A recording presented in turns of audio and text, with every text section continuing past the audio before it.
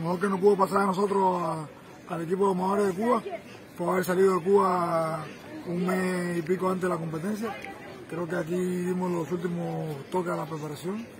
Ahora mismo estamos en forma óptima, estamos al 100%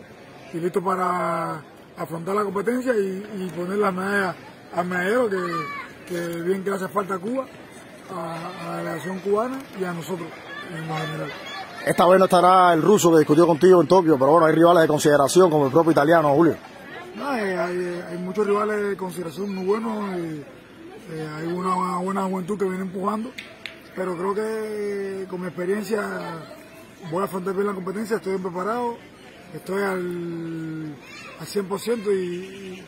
y, cuando yo estoy así enfocado, soy un atleta muy difícil de,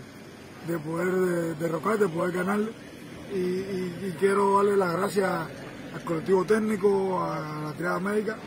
y a todos los compañeros míos que se quedaron en Cuba, que de una forma u otra contribuyeron a que yo llegara a este grado y poder venir y defender un título y alcanzar un título para ellos, para Cuba y para mí.